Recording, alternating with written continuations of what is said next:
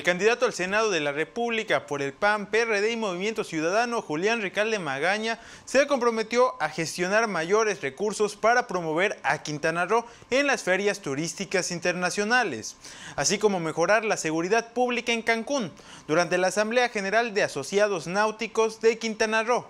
Ricalde Magaña, quien firmó una carta que incluye compromisos en materia de mejora regulatoria, infraestructura náutica, seguridad, promoción turística y medio ambiente y desde luego estando ante el sector náutico, dijo que apoyará las demandas de ese sector a fin de que siga generando empleos en beneficio de la entidad. Esperemos que de tantas promesas hechas no se le vayan a olvidar después. Por otro lado, y ante la preocupación del sector privado sobre el índice delictivo que se registra, Julián Ricalde reiteró su compromiso de gestionar recursos desde el Congreso de la Unión para fortalecer la Policía Municipal de Benito Juárez, que en los últimos gobiernos ha sido nulificada por la delincuencia, incluyendo su propia administración.